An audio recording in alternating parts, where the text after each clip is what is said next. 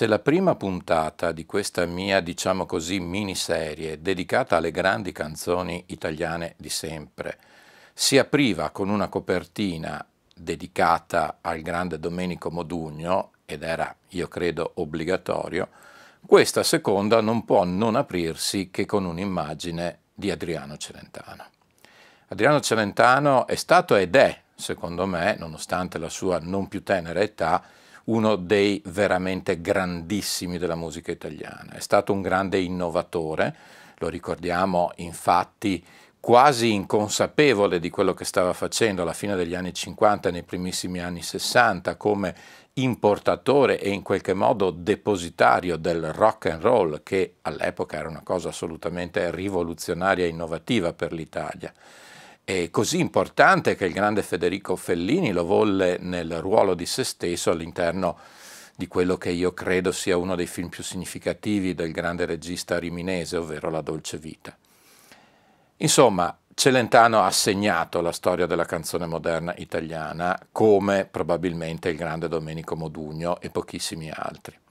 Un'altra caratteristica che io ho sempre amato di Celentano è la sua capacità di percorrere i tempi e la sua coerenza, coerenza anche comportamentale, le sue scelte, il fatto che lui abbia da subito visto questa avventura come un'avventura inizialmente collettiva, nonostante certamente anche lui sia una personalità spiccata, un singolo di eccellenza, però ha sempre visto come eh, ariete, come modo di affermarsi in questo mondo, il controllo creativo, commerciale e quant'altro. E non è un caso la creazione del clan, anche se poi nella pratica il clan non è finito benissimo perché siamo esseri umani, come si dice, però queste idee lui le ha sempre mantenute vive, così come ha mantenuto vivo assolutamente il suo impegno ecologico, un impegno ecologico veramente ante litteram, veramente in un momento in cui di tutto si parlava tranne che delle esigenze del nostro bistrattato pianeta. Eh, a metà degli anni 60 canzoni come Il ragazzo della via Gluck, come L'albero di 30 piani, insomma, hanno segnato una svolta e, ripeto, una tendenza. Infine, un'altra sua caratteristica a cui lui ha sempre mantenuto fede, e sottolineo questo termine non a caso, è per l'appunto la sua dichiarata fede cattolica.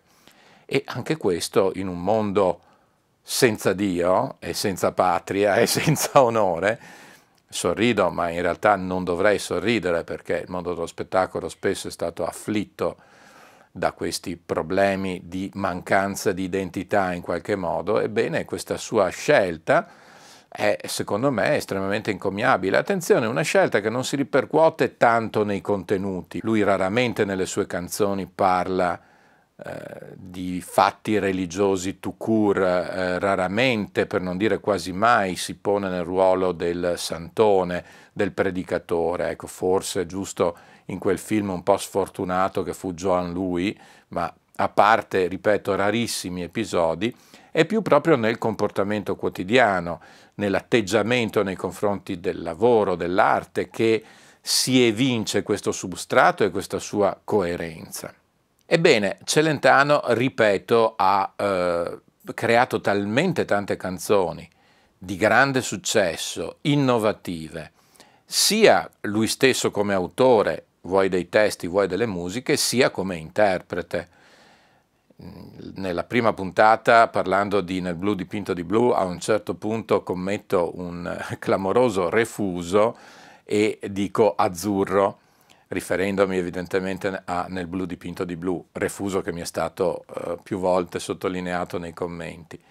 E questo perché proprio negli, poco dopo la, la, il grande successo di Nel blu dipinto del, di blu arriva quest'altro successo eh, mondiale, sicuramente italiano, ma che ha travalicato i confini, che fu Azzurro, un brano meraviglioso scritto da Paolo Conte, che era un giovane del clan, per così dire, appunto per Adriano Celentano. Al di là di tutti questi brani è veramente difficile andare a sceglierne uno come particolarmente significativo in tutta questa lunghissima e clamorosa carriera di Adriano. Potrei parlare del mondo in mi settima, altro brano assolutamente innovativo, una sorta di talking blues, come direbbero gli americani, tutto costruito appunto su questo accordo in Mi settima, dove Celentano affronta e snocciola da par suo i mali del mondo.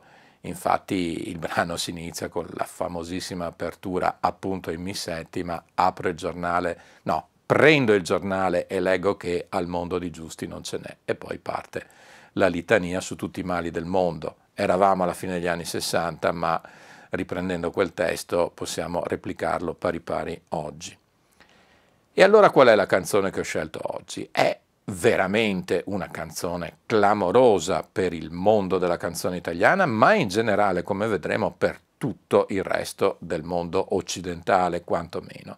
Ed è Prisen Colin Ensinal Chusol, questo titolo complicatissimo, è una canzone che nasce un po' per caso, ma forse un po' no, nel 1972, 72-73, viene pubblicata nel 73 ma nasce nel 72, e che poi verrà inserita nell'album Nostal Rock. Eh, ebbene, Celentano stesso dice come lui aveva scritto una melodia e a un certo punto improvvisò eh, questo testo che in termini tecnici si chiama glossolalia, ovvero un testo con una serie di fonemi che in realtà non si riferiscono ad una lingua in particolare, ma sono utili a sottolineare e a creare il ritmo che il testo dovrà avere, il testo potenzialmente definitivo. Fatto sta che questo testo definitivo non ci fu mai.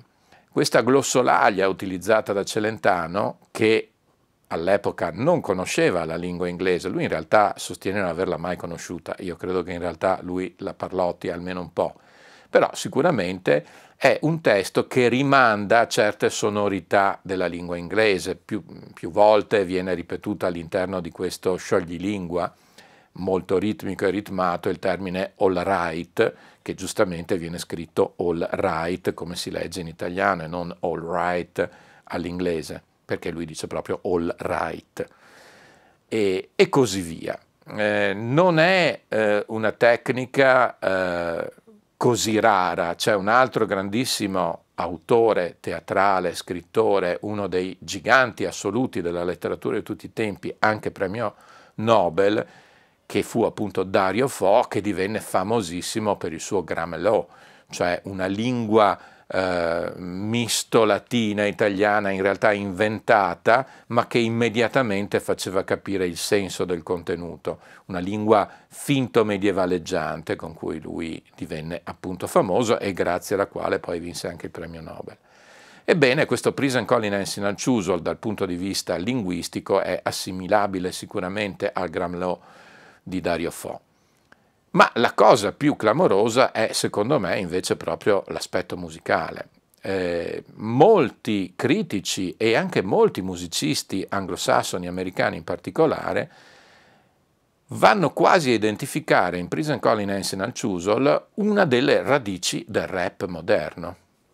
Infatti il ritmo è esattamente quello che poi prenderà il rap successivamente. Ovviamente in quel momento parliamo di un brano acustico con una clamorosa sezione percussioni, batteria percussioni, dei fiati molto black, per così dire, e quindi un brano che paradossalmente quando uscì, nonostante fosse stato scelto come sigla di una trasmissione radiofonica molto importante che era Gran Varietà, in Italia non ebbe subito un grande successo. Entrò nelle classifiche di mezza Europa, in Francia, in Lussemburgo, in Germania e anche al settantesimo posto della classifica americana, proprio per sottolineare questa internazionalità e questa forza innovativa sia dei ritmi sia del modo di proporre un testo quasi parlato.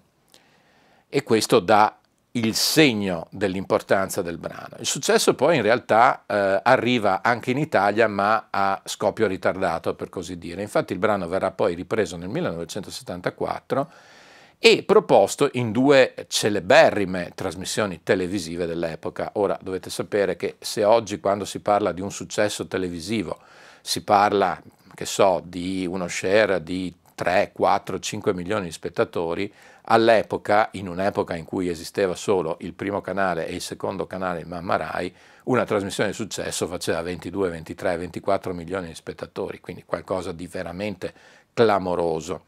Queste due trasmissioni sono la prima Formula 2, dove addirittura viene sceneggiata eh, questa canzone, nel senso che noi vediamo Celentano in queste celeberrime immagini di professore in una sorta di immaginario liceo, composto tutto ovviamente da giovani e avvenenti signorine, in cui lui con questa canzone insegna e spiega il senso dell'amore, perché poi lui ovviamente dice che questo, questo testo è un inno all'amore, naturalmente. E l'altra, se vogliamo, ancora più clamorosa è la sua partecipazione all'altro programma in quell'epoca molto, molto blockbuster, diremo oggi, che era Mille Luci, condotto da Raffaella Carrà e si esibisce in questo famosissimo duetto in, su questo brano Prison Calling Nancy al Ciusola, appunto con la Raffa nazionale. Consacrazione definitiva e finalmente anche il brano entra nella top ten italiana. La seconda canzone di cui vi voglio parlare è Margherita di Riccardo Cocciante. Questo brano mi coinvolge emotivamente e in qualche modo direttamente, come vedremo fra un attimo. Riccardo Cocciante è questo grandissimo cantautore italo-francese, infatti lui nasce a Saigon, che all'epoca era la Indocina francese, nel 1950, da eh, padre italiano e madre francese. Si trasferisce a Roma a 11 anni, quindi poi di fatto diventa italiano a tutti gli effetti, ma manterrà sempre molto forte questo, questo suo legame, questa sua radice al 50% francese. Ciò detto, eh, è uno di quei cantautori, nel suo caso popolari, che si vanno ad affermare eh, nella nel centro, nella metà degli anni 70. Il primo periodo infatti è caratterizzato già all'esordio nel 1974 da un brano clamoroso che era Bella senza anima. In quell'album poi erano presenti altri brani che resteranno leggendari in tutta la sua discografia, eh, quando finisce un amore per esempio. Sono brani caratterizzati tutti dal tema dell'amore, l'amore eh, spesso narrato come disperato, l'amore narrato con termini anche crudi per l'epoca.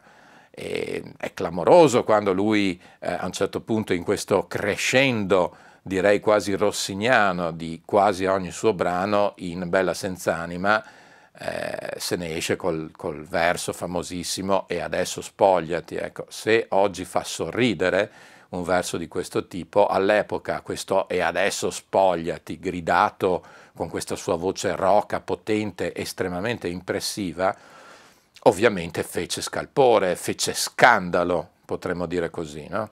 ed era uno dei tanti elementi di rottura progressiva nelle abitudini e negli standard del recepire l'arte. Il suo grande rivale all'epoca, decisamente più soft se vogliamo, era Claudio Baglioni, non a caso.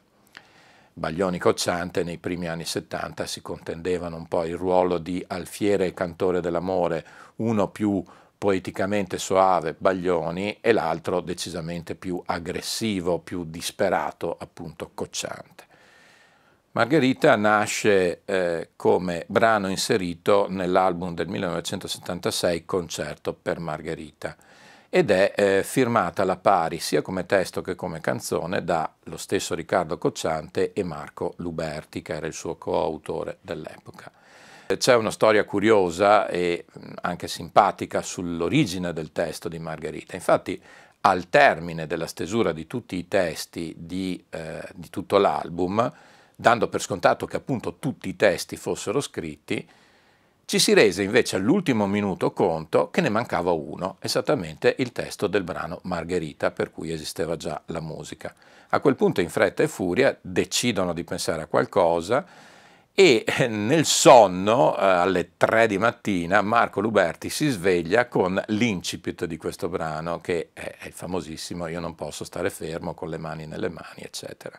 Immediatamente lo comunica a Cocciante, il quale, grazie a questo abbrivio, va poi a completare il disperato testo d'amore di questa famosissima canzone. L'aneddoto che riguarda la mia vita personale dell'epoca è eh, molto legato appunto a Margherita perché eh, sarò banale, come si usa dire, ma eh, viene legata anche al mio primo adolescenziale amore i classici primi amori adolescenziali, gli amori disperati, gli amori in cui si idealizza la ragazza oggetto di questo amore, che poi nel 90% dei casi non corrisponde e infatti così fu nel mio caso.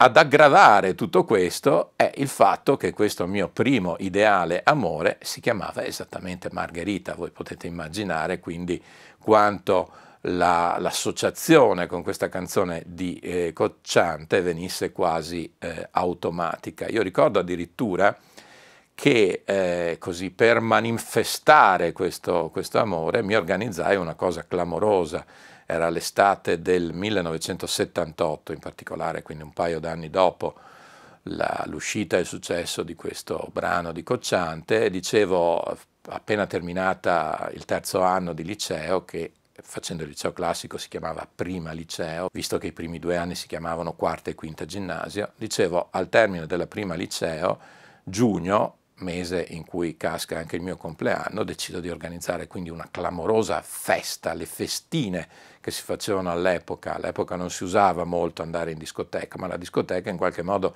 si ricreava in casa con l'amico dotato dell'impianto ad alta fedeltà, di grande potenza, con l'amico dotato delle, delle, luci psichedeliche, come le chiamavamo noi, null'altro che delle lampadine colorate che venivano collegate a una elementare centralina che in base agli impulsi della musica faceva eh, muovere, cadenzava l'illuminazione della, della, saletta domestica in cui questi ragazzini ballavano i successi del momento. Successi del momento che, a differenza di quanto accade oggi, si alternavano sapientemente fra brani veloci, sincopati, e quindi tutti si scatenavano, ai famosi lenti i lenti cheek to cheek che potevano occupare anche delle mezz'ore intere e che erano il terreno di conquista, per così dire, no? il momento dell'approccio più diretto, più fisico con le nostre amiche dell'epoca, qualcosa che a pensare a come si svolgono i rapporti fra i giovani oggi fa sorridere e forse anche un po' commuovere, se vogliamo, ma tant'è questo è il passato. Ebbene, attorno a questa Margherita intesa come canzone, intesa come amore, primo amore giovanile adolescenziale, io costruì tutto questo evento, evento che ovviamente franò clamorosamente nel momento in cui la povera Margherita di turno, cascando dalle nuvole, eh, non corrispose a questo amore. Ebbene, è andata così e credo anche in questo di essere accomunato alle vicende di tantissimi miei coetanei. E questo è il mio contributo su questo brano, peraltro bellissimo, del grande Riccardo Cocciante. Il terzo brano di cui vi voglio parlare è invece Il carrozzone. Il carrozzone che è uno dei brani più celebri, famosi e devo dire veramente belli di Renato Zero. Renato Zero, al secolo Renato Fiacchini, anche lui nasce nel 1950, e si afferma fin da giovanissimo, alla metà degli anni 60, già 14enne, 15enne, aveva i primi ingaggi.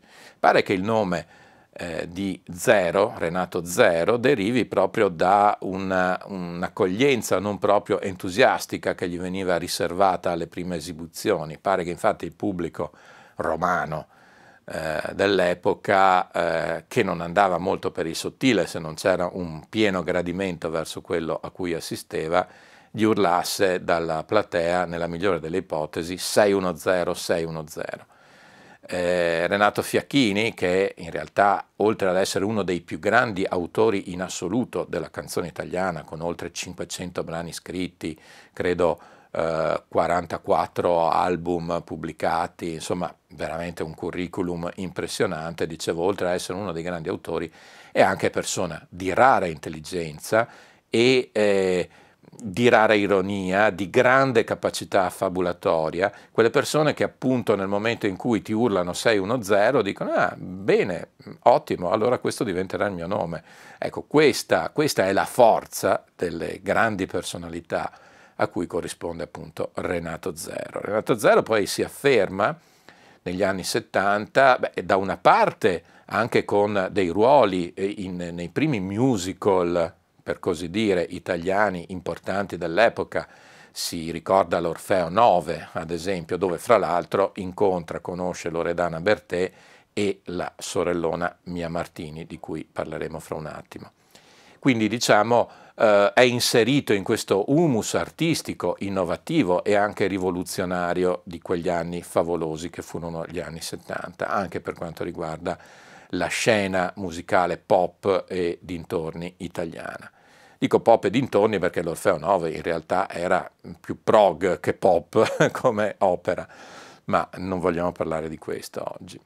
L'elemento che poi lo caratterizzerà per tutti gli anni 70 è anche eh, questo suo inserirsi e quasi in qualche modo importare in Italia eh, la tradizione, diciamo così, del glam rock.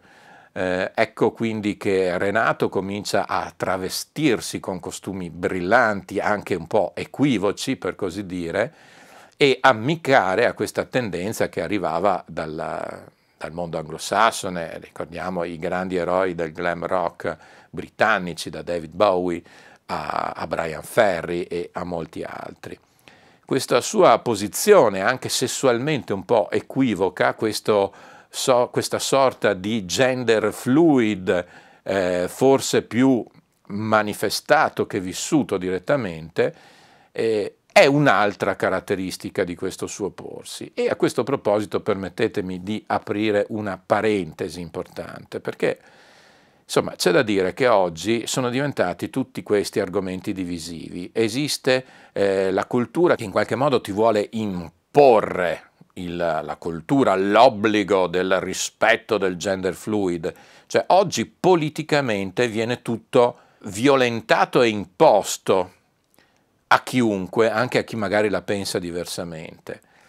Ebbene, eh, queste cose sono sempre esistite e noi ragazzi degli anni 70 veramente non ci facevamo nessun problema, nonostante magari avessimo eh, posizioni sia politicamente, sia ideologicamente, sia anche come stile di vita differente da quello che questi nostri eroi ci proponevano, ma noi le accettavamo e anzi eh, ne fruivamo con grande piacere e soddisfazione e apprezzando queste proposte, cioè questa sorta di sessismo che si vorrebbe oggi imporre più o meno al contrario, eh, all'epoca semplicemente non era vissuto, era vissuto con grande leggerezza, non, non c'era questa, non, non, esistevano dei pregiudizi che poi in qualche modo artatamente, politicamente, oggi eh, vorrebbero imporre per creare l'ennesima forma di divisione all'interno della popolazione. Scusatemi, ma era una digressione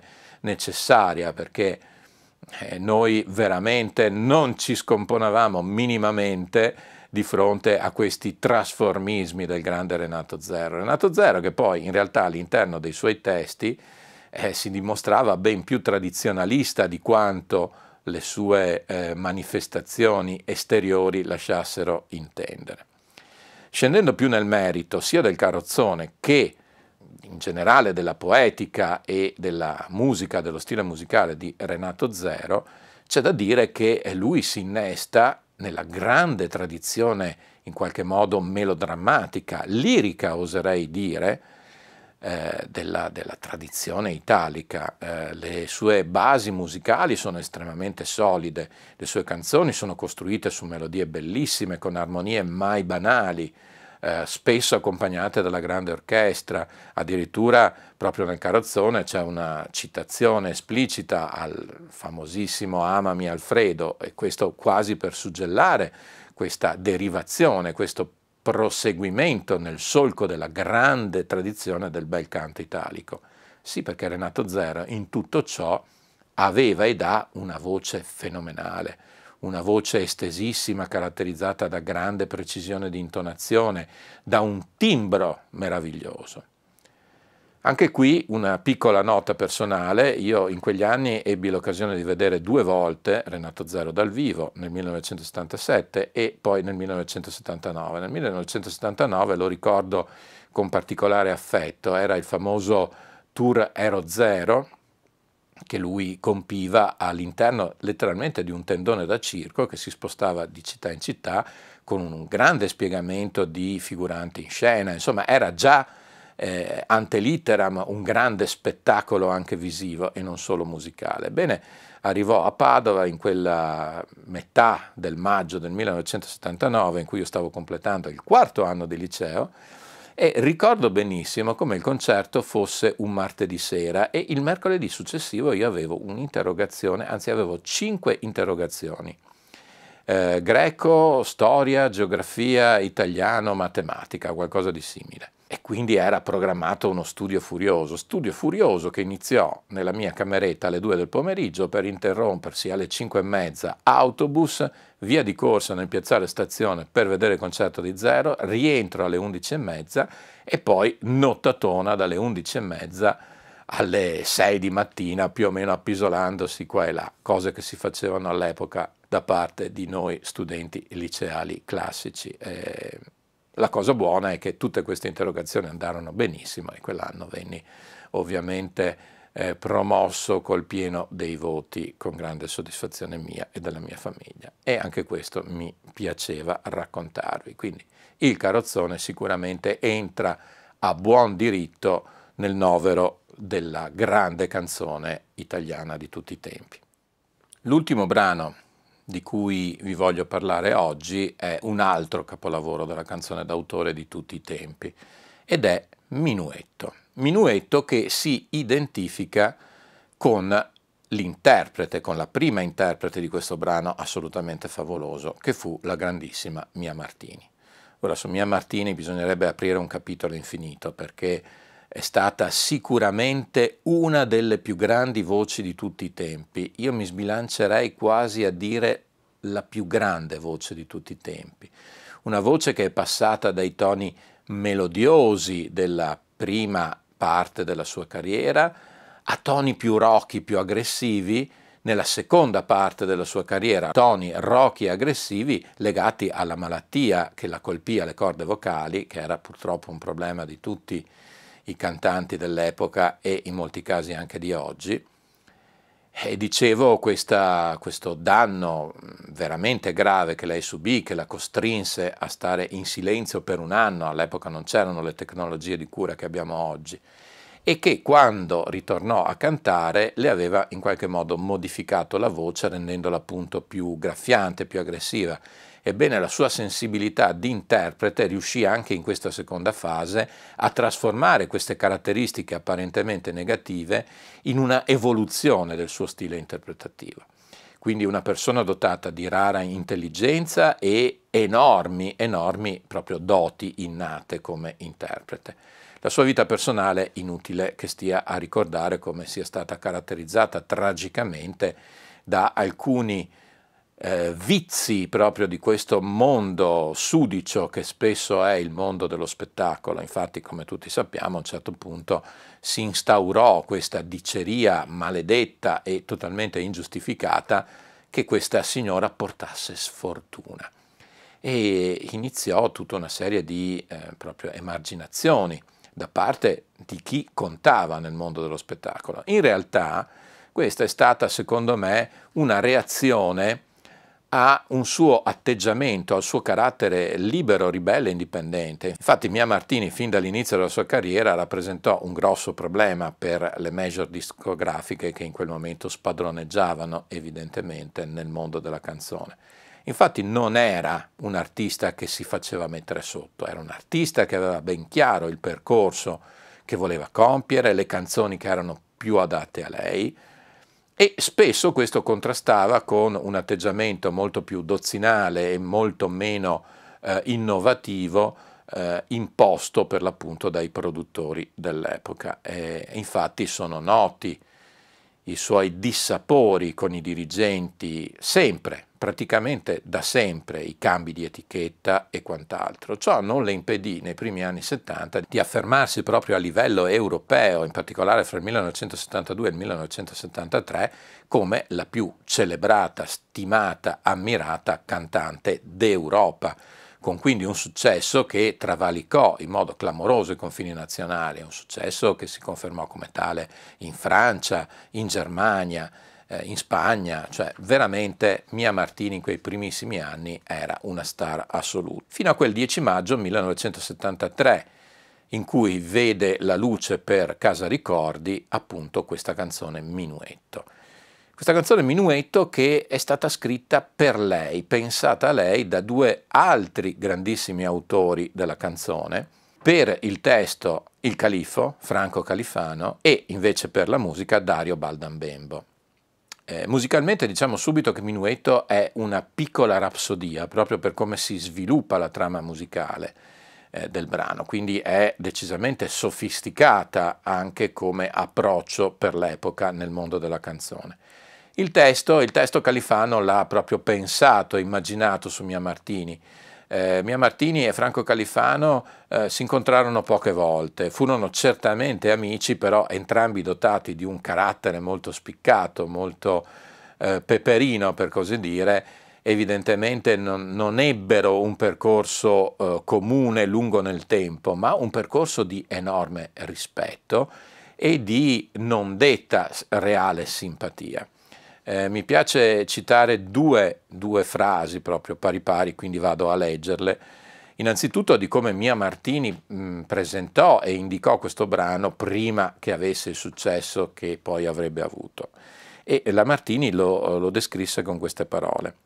È un pezzo di genere classicheggiante, con un finale straordinariamente suggestivo.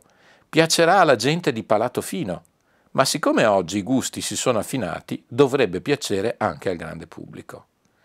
Questa è una frase che mi dà i brividi perché corrisponde alla realtà di quell'epoca, cioè quella era un'epoca in cui il pubblico affinava il gusto, in cui il grande pubblico sapeva riconoscere il bello dal brutto, in cui il grande pubblico non subiva l'attacco mediatico di qualunque nefandezza come succede oggi. Era un grande pubblico che ascoltava la musica perché gli piaceva ascoltarla, non perché era imposta da un qualche sistema incombente, dal potere con la P maiuscola. E questa è una frase che mi stringe il cuore. Invece il commento del grande califfo è il seguente e qui proprio riassume brevemente anche il rapporto che caratterizzò i due. Il nostro incontro risale al 73. Avevo appena finito di scrivere Minuetto e sentii subito che si trattava di un pezzo del quale Mia Martini avrebbe colto perfettamente tutte le sfumature, la sua storia d'amore disperato. Glielo affidai e Mia vinse il Festival d'Europa e il Festival Bar. In qualche modo Minuetto segnò il suo grande successo, la nascita di un interprete impareggiabile che osservava il mondo e gli uomini con una straordinaria sensibilità. Non ci legava una frequentazione assidua, anzi sono poche le occasioni nelle quali io e Mia ci siamo ritrovati vicini a parlare di musica, di quella musica che per lei era in qualche modo uno strumento di liberazione, un modo per dimenticare. Mia Martini è morta giovanissima, in condizioni ancora tutto sommato non chiare, ma sicuramente è morta di dolore. Io di questo sono assolutamente certo. A questo proposito io vi consiglio di vedere un, eh, uno sceneggiato televisivo, scusate se io lo chiamo ancora così, eh, prodotto e uscito nei canali RAI un paio d'anni fa con protagonista Serena Rossi, che è una delle più grandi interpreti e attrici italiane del momento, che appunto ricostruisce la storia tormentata della vita di questa grandissima artista. È, mh, mm, è, una produzione cinematografica, mi piace definirla meglio ancora così, veramente di alto livello, veramente ben fatta, ben scritta, ben girata, eh, ben interpretata, anzi eccellentemente interpretata da questa Serena Grossi eh, gigantesca. Eh, è una storia raccontata in qualche modo in uh, background, visto che eh, il presente della vicenda è tutto centrato attorno a quel clamoroso festival di Sanremo in cui Mia Martini presentò Almeno tu nell'universo, uno dei brani che ovviamente è diventato, come è stato pubblicato, è diventato già un classico per la sua bellezza e la sua potenza, scritto dal grande Bruno Lauzi. Ecco, io concludo qui questa lunga narrazione oggi dedicata a questi quattro brani veramente significativi e importanti e vi rimando all'ascolto finale che ancora una volta non può essere che un omaggio a uno di questi brani, l'ultimo in particolare Minuetto. Infatti nel marzo del 2020 è uscito questo mio primo disco prodotto per i Baraonna, questo straordinario quartetto vocale italiano che in qualche modo eh, incrocia il ricordo del quartetto Cetra da una parte e Manhattan Transfer dall'altra, che ne hanno fatto una versione assolutamente struggente che chiude il disco, con un arrangiamento per le loro quattro meravigliose voci in solitudine accompagnate dal pianoforte, suonato peraltro dal grande Vito Caporale. Quindi vi ricordo di iscrivervi al canale Valut Luna se ancora non l'avete fatto e se vi interessano e vi piacciono i contenuti da noi proposti e inesorabilmente, inevitabilmente, anche per oggi, that's all, folks.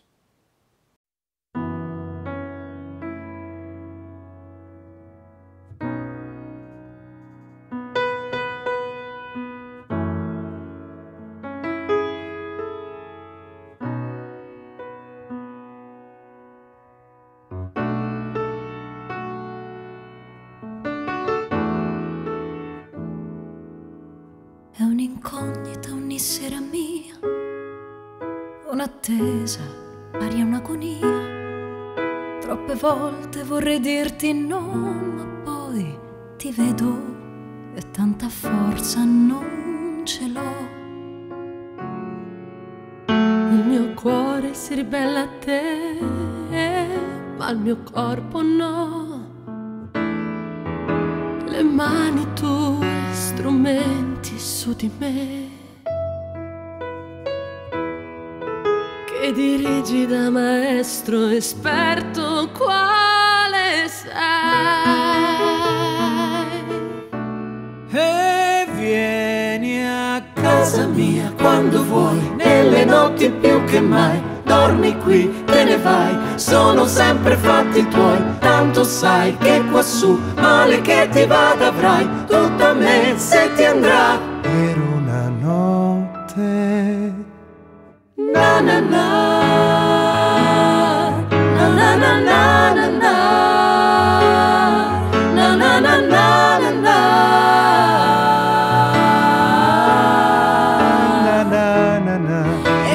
sempre più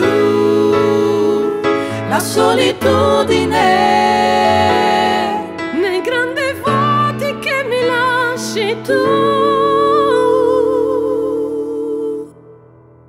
rinnegare una passione no, ma non posso dirti sempre sì e sentirmi piccola così tutte le volte che mi trovo qui di fronte a te.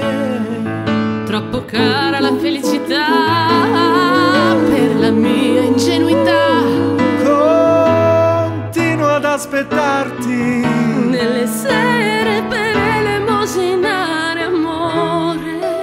Sono sempre tua quando vuoi, nelle notti più che mai. Dormi qui, te ne vai, sono sempre fatti tuoi. Tanto sai che quassù, male che ti vada avrai, tutta me se ti andrà per una notte sono tua. La notte a casa mia, sono tua, sono bella parte